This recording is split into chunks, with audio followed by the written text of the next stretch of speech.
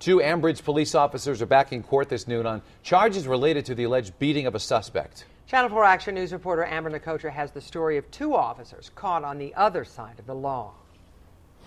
The case involving Richard Heitzenrater and Robert Kuzma, who were both with the Ambridge Police Department at the time of the incident, was supposed to go to trial today. Instead, they both pled guilty to the charges.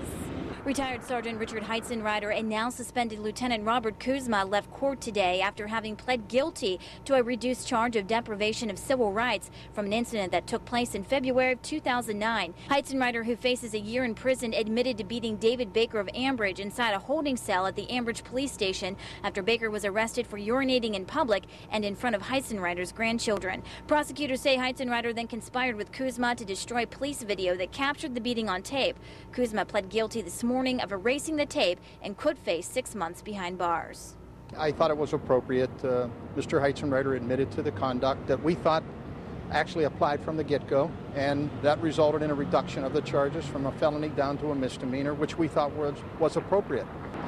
And both Heitzenrater and Kuzma will be back here in federal court on November 12th, where they'll be sentenced. In downtown Pittsburgh, Amber Nicotra, Channel 4 Action News.